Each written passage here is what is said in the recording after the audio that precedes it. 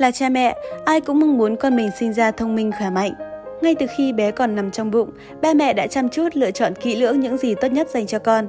Bên cạnh đó cũng có rất nhiều yếu tố có hại cho sự phát triển trí não của thai nhi mà ba mẹ cần tránh. Hãy tham khảo ngay những điều sau nhé. 1. Tiếp xúc với các chất độc hại trước hoặc trong quá trình mang thai. Những hóa chất này có thể hiện diện ở rất nhiều nơi, như những nơi có không khí ô nhiễm hoặc đơn giản là khi bạn tiếp xúc với sơn và đồ nội thất mới mua. Trì, arsen, thủy ngân trong các loại sơn hoặc đồ nội thất mới đều có thể gây ảnh hưởng không tốt đến sự phát triển trí não của trẻ.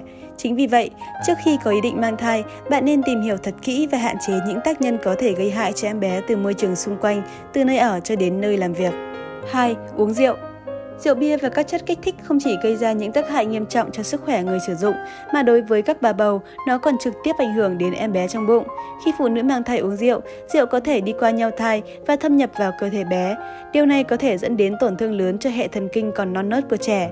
Vì vậy, các mẹ bầu hãy bỏ ngay thói quen xấu này thay bằng những đồ uống lành mạnh hơn như nước ép hoa quả, rau củ hay nước lọc cũng rất tốt.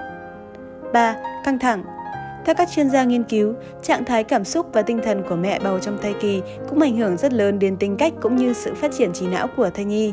Nếu bạn liên tục căng thẳng, stress kéo dài, điều này sẽ tác động không tốt đến em bé. Ngoài ra, tâm trạng có thể khiến mẹ cảm thấy chán ăn, bỏ bữa và làm ảnh hưởng đến dinh dưỡng của thai nhi.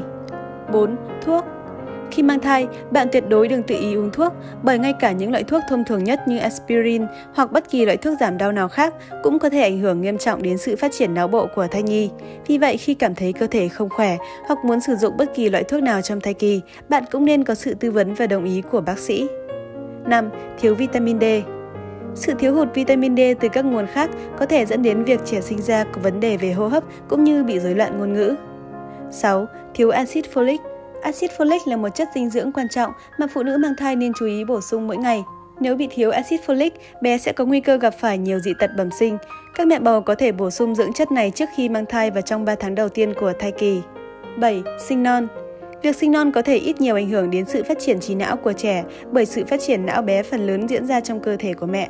8. Công việc của người cha nếu công việc của cha thường xuyên tiếp xúc với các yếu tố gây hại, tinh trùng sẽ bị ảnh hưởng và bé có thể gặp phải các rối loạn liên quan đến não. 9. Tuổi của cha mẹ một đứa trẻ được thụ thai bởi cha mẹ hơn 35 đến 40 tuổi có nguy cơ mắc những chứng rối loạn tâm thần cao hơn. Hy vọng với những chia sẻ trên, ba mẹ sẽ có thêm thông tin hữu ích và tránh các yếu tố có hại để đảm bảo em bé được nuôi dưỡng an toàn và phát triển tốt nhất nhé.